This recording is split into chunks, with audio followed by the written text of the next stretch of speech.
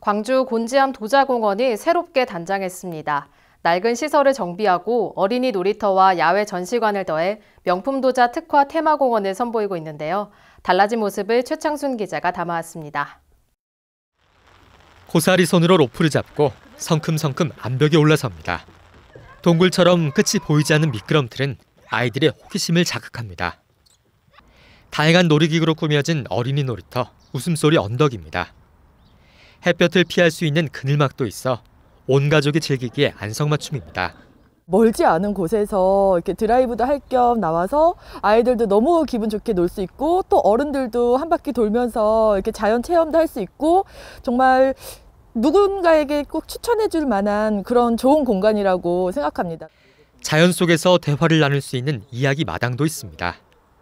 큰 나무들이 우거져 숲속 정취가 물씬 풍기고 자그마한 통나무집은 동심으로 돌아간 어른들의 힐링 공간입니다. 숲속 오솔길을 따라선 야외 전시관이 마련됐습니다.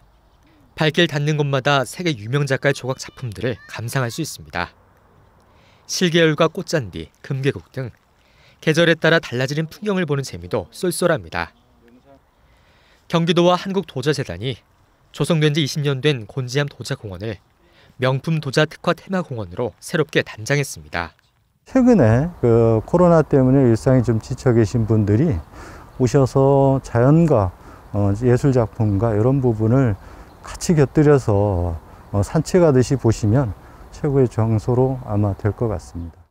곤지암 도자공원의 모든 코스에 universal design을 적용해 어르신이나 장애인도 불편함 없이 이용할 수 있고 스탬프 여행과 야외 조각 작품 해설 등 다양한 프로그램도 준비됐습니다.